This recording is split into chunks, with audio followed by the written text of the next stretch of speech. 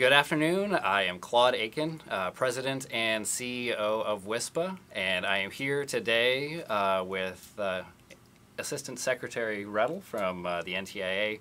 Uh, we've known each other for quite a while, uh, and you are you've been in this job for a while now, and it's it's good to be here with you. We're we're sad you couldn't come out to make it uh, in Vegas with us, but uh, we're excited to be able to do this and show this to all of our members who are there. So you know you've been. Uh, You've been pretty loud about your commitment to rural broadband. You've been a great Spectrum guy. Our guys really need uh, Spectrum, but you know I wanted to give you an opportunity, in your own words, to tell uh, our members about uh, what NTIA does in your own words. Well, thanks, Claude. Uh, it's great to be here. I'm sorry that this is how I have to do this and that I couldn't be with you all in Nevada, but I'm glad to get a chance to talk to you about NTIA and what we're doing to help promote rural broadband, particularly uh, in our work through Spectrum. Um, WISPA's members are a critical part of the wireless ecosystem. You are helping us solve not only our problems in using Spectrum more efficiently, but also in bringing rural broadband to those who desperately need connectivity. Here at NTIA, we're currently focused on making sure we look holistically at the low, the mid, and the high band spectrum and figure out ways to produce more for commercial use for both licensed and unlicensed uses. I'd like to take a minute, if I could, to highlight in particular the work that our Institute for Telecommunication Sciences in Boulder, Colorado is doing with the 3.5 gigahertz band. Um, the CBRS spectrum, as many of you know, holds a lot of promise for both unlicensed and licensed use to bring more broadband to more Americans. Critical to the use of that band is the ability of federal and non-federal users to share. Our ITS engineers are hard at work in Boulder right now trying to certify the systems that will make that sharing possible. Those two systems are the Spectrum Access System and the Environmental Sensing Capability. These critical systems will effectively take what had once been a static exclusion zone that prevented any use of these spectrum bands near military installations and instead dynamically protect them when they need to be protected. The environmental sensing capability will let us take those zones down to zero when the Navy doesn't need access for radar systems and will allow us to have WISPA and its members and other citizens around the country use that spectrum in beneficial ways where it's available. We're really excited about this, and I hope you are too. And Claude, I know you share my excitement about oh, 3.5 coming to market. Absolutely, it's a it's a huge uh, piece of spectrum for our members, especially since a lot of them are already deployed in the uh, in the upper portion of the band. So we you talked a little bit about what's uh, what's coming down the pike with with CBRS. How about further on into the future? What do you see when you look into your crystal ball? I know you've worked on spectrum policy a lot longer than I have. Uh, what do you see coming down the pike from your perspective on spectrum policy? Well, I think we're, we're at an inflection point in spectrum policy. We're going to continue at NTIA to try to meet the dual mandate that Congress has given us. NTIA as an agency is tasked with making sure that our federal spectrum users have the spectrum they need to perform their critical missions, whether it be weather, air traffic control, or training for our men and women in uniform. That spectrum is critical to our national security and to our economic security. That's only one half of what we do on spectrum policy, though.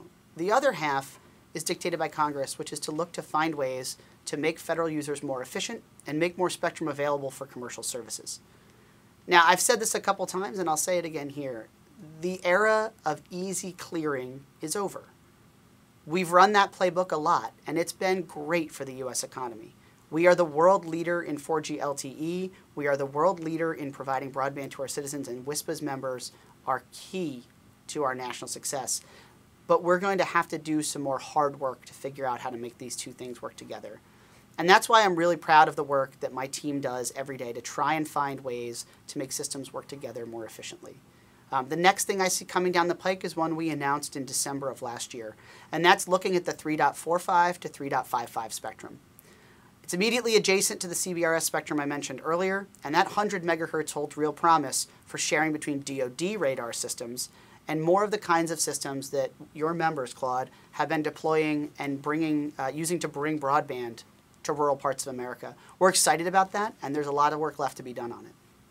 All right, that sound, sounds great. Because uh, as you as you well know, spectrum continues to be incredibly important to uh, all folks in, in the wireless ecosystem. So, you know, I think a lot of our members tend to think about uh, FCC and they think about USDA when we're talking about rural broadband. Can you tell us a little bit about uh, your perspective on rural broadband and what NTIA is doing in that regard? Sure.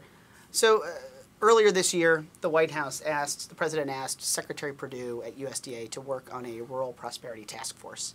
Um, the report that came out of that identified broadband as a key driver of the economy in rural America. And NTIA plays a critical role in helping to knock down barriers to bring broadband to parts of the country that are unserved and underserved. Uh, I'd like to highlight a couple areas, if I could, that I think our work will be really helpful to WISPA members. Um, first of all, we're looking at ways to streamline permitting within the federal government.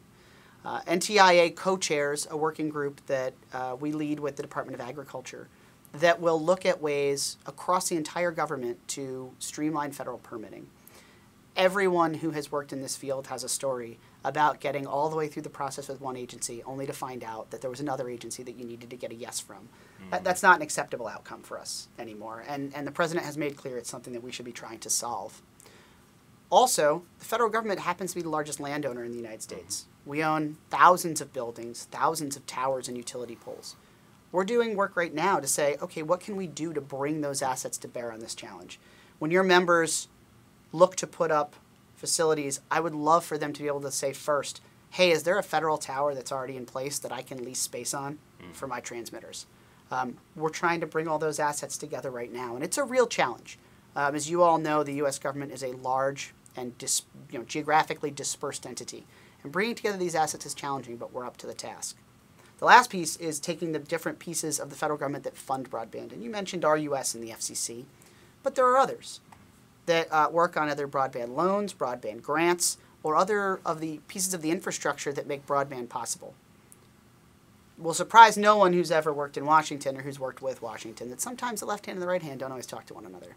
And so what we're doing now is trying to make sure we can bring all those people to the table and say, how can we make sure we're working together? A big piece of that for us is what we're doing at NTIA and the broadband map. So Congress last year asked us to work with the FCC to improve the national broadband map, but I know many rural Americans and many companies that serve rural America were frustrated with the FCC's most recent broadband map. They thought it overstated coverage in rural America to their detriment. Um, you know, I, I don't want to knock the FCC. They're doing a really good job with the data they've got, but I think everyone agrees at this point that their map only tells part of the story. NTIA is working diligently right now. We're going to be putting out requests for comments soon on where we can find additional data sets and to bring technology to the table on telling the rest of the story, on what rural broadband really looks like in America. And I hope that your members will be active participants because in some of the hardest to reach areas, your members are serving they are serving well. They're serving in areas where customers are choosing them over other alternatives. Mm-hmm. We think that's a story that needs to be told. Absolutely well, and I know our, our members will uh, really appreciate those uh, those kind words from you. So, you know, we've talked a lot about policy so far. Let's just talk a little bit about uh, about you. Uh, you know, there's there's always a person behind the position, and so just tell us a little bit about yourself and uh, you know how uh, how happy you were early this earlier this month when uh, Penn State uh, trounced Pitt in the, uh, the great annual rivalry game.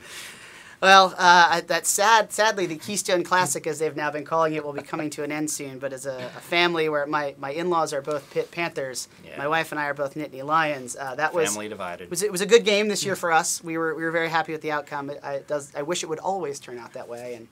Um, uh, it's going to be a tough season for our Nittany Lions. But um, a little bit about me. I started my career working in the competitive wireless industry.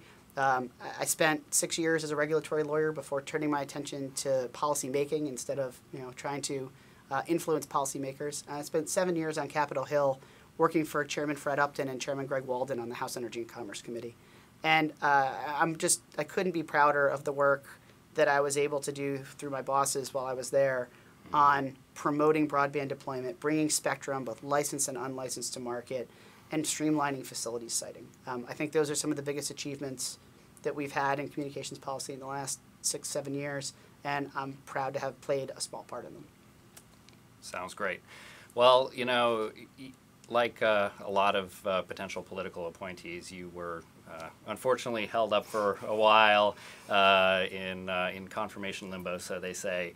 And I'm just kind of curious, just from a from a personal standpoint, what was sort of the the funniest, well-meaning thing that somebody said to you during that period when you had gone through the entire process and were just waiting for uh, waiting for the doors to open to you. Well, I, I do want to start by saying that as, as all, like all political appointees who've gone through this process, I am incredibly thankful to Secretary Ross and President Trump Absolutely. for sticking with me through the whole process. Um, it's long and arduous, and, um, and it's part of our system, but it's, um, it's not Yeah. fun.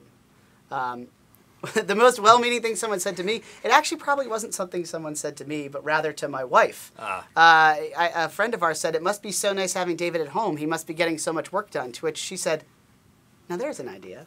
And so uh, my honeydew list uh, got exponentially longer shortly thereafter. Uh, but I, I think she lived to regret that because it involved me buying a lot of tools and building things in our house. So I, I, I Well, think fantastic. I think ultimately she regretted the decision. as someone who is probably about to undergo some home renovations, I, I look forward to that as well. So, David, thank you so much for uh, spending the time to, to talk to me and talk to our members about uh, about Spectrum, about rural broadband, and about what you're uh, you're doing here at NTIA. We really appreciate it. My pleasure and good luck for a, a successful show. All right, thank you, sir. Thank you.